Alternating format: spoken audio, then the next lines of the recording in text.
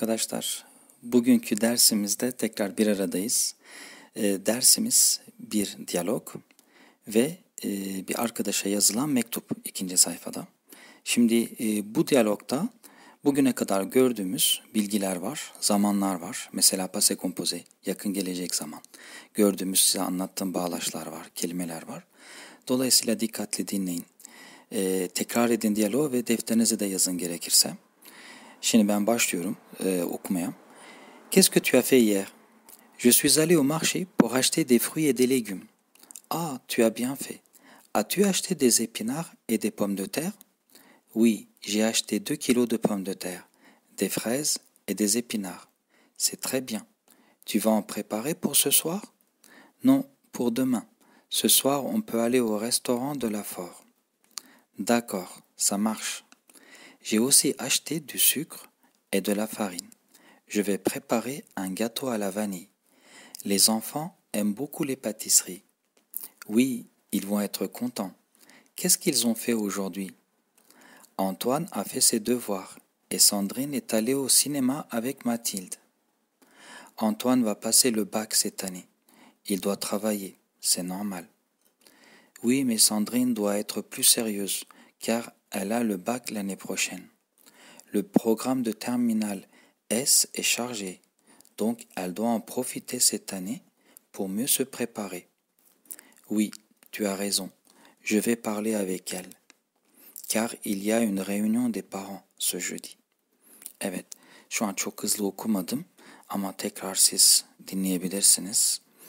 Şimdi açıklamasını yapıyorum. Qu'est-ce que tu as fait hier? Dün ne? Je suis allé au marché pour acheter des fruits et des légumes. Dün pazara gittim meyve ve sebze almak için. Ah, tu as bien fait. Ah, çok iyi yaptın.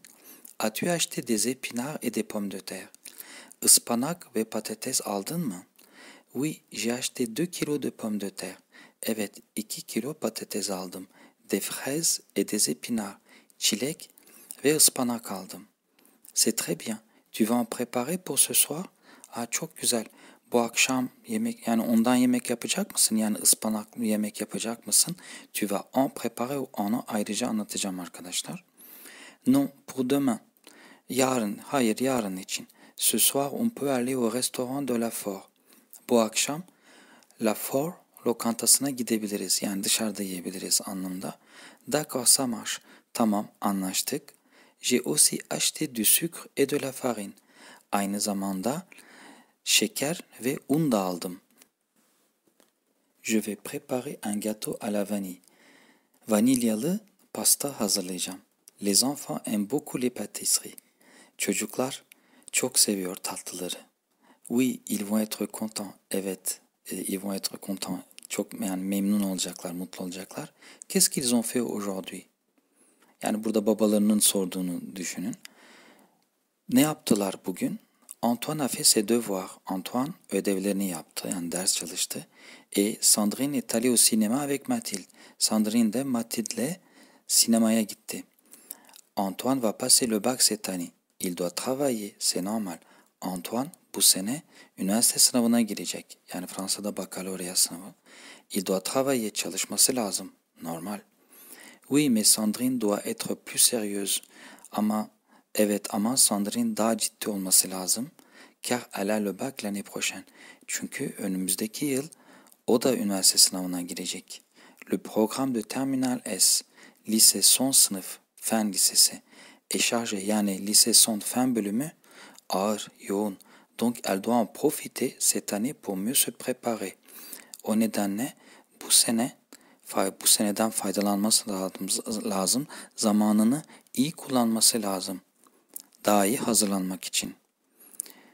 Oui, tu as raison. Evet, haklısın. Je vais parler avec elle. Onunla konuşacağım. Car il y a une réunion des parents ce jeudi. Çünkü bu perşembe toplantı var. Aileli toplantı var okulda anlamında. Şimdi burada da bir mektup var. Ee, Julien diye birisi Antoine diye arkadaşına mektup yazıyor. Şimdi mektubu okuyacağım. Cher Antoine, j'espère que tu vas bien et que la santé de ton père va mieux. Moi et ma famille, nous sommes en Espagne pour les vacances chez mon ami Rodrigo. Nous sommes dans un petit village à 20 km de Madrid. Nous sommes arrivés dimanche soir à 22 heures. Le voyage a duré à peu près 4 heures et nous sommes très fatigués et c'est pourquoi je n'ai pas pu répondre à ta lettre. Nous avons visité Madrid, Barcelone et Valladolid. Toutes ces villes sont très belles et il y a beaucoup de choses à voir, beaucoup de monuments historiques, de places célèbres et de beaux restaurants. Les gens sont chaleureux et aiment discuter d'histoire et de culture. Nous avons passé une journée fatigante hier et, c'est la raison pour laquelle nous nous sommes couchés très tôt. Le lendemain, nous avons fait des courses et nous avons acheté des chaussures pour mes frères et ensuite nous avons visité les musées et monuments de Valladolid. C'est très beau. Je sais que tu aimes l'histoire et l'art aussi. Nous rentrons dans trois jours. À bientôt, Julien. Şimdi açıklamasını yapıyorum. Cher Antoine, sevgili Antoine, j'espère que tu vas bien et que la santé de ton père va mieux. Umarım iyisindir ve babanın sıhhati daha iyidir. Moi et ma famille, nous sommes en Espagne. Ben ve ailem İspanya'dayız. Pour les vacances chez mon ami Rodrigo. Yani ben ve ailem İspanya'dayız tatil için. Arkadaşım Rodrigo'da yani arkadaşım Rodrigo'da kalıyoruz anlamında. Nous sommes dans un petit village à 20 km de Madrid. Madrid'e 20 kilometre de bulunan 20 kilometre yakın küçük bir e, köydeyiz, küçük bir şehirdeyiz anlamında. Nous sommes arrivés dimanche. Pazar günü geldik. Dimanche soir à 22h. Yani pazar günü gece 10'da geldik. Le voyage a duré à peu près 4 heures. Seyahat, seyahatimiz anlamda seyahat yaklaşık olarak 4 saat sürdü. Et nous sommes très fatigués ve çok yorgunuz. Et c'est pourquoi ve bu nedenle pourquoi zaten sorularda neden demek. Ama burada bir açıklama nedeni anlatıyor. Et c'est pourquoi je n'ai pas pu répondre à ta lettre. Ve bu nedenle senin mektubuna cevap veremedim. Bakın pouvoir fiili var burada. Je n'ai pas pu diyor. Yapamamak. Burada passé composé'nin olumsuz hali var. Répondre cevap vermek. Lettre mektup. Nous avons visité Madrid, Barcelone et Valladolid. Madrid'i, Barcelona'u ve Valladolid'i gezdik. Toutes ces villes sont très belles et il y a beaucoup de choses à voir. Bütün bu şehirler çok güzeller. Et il y a beaucoup de choses à voir ve görecek çok şey var. Beaucoup de monuments historiques. Çok tarihi yerler var. Çok tarihi anıtlar var pardon. Monument anıt demek. Çok ta beaucoup de çok. De places célèbres. Meşhur meydanlar et de beaux restaurants ve güzel lokantalar. Les gens sont chaleureux.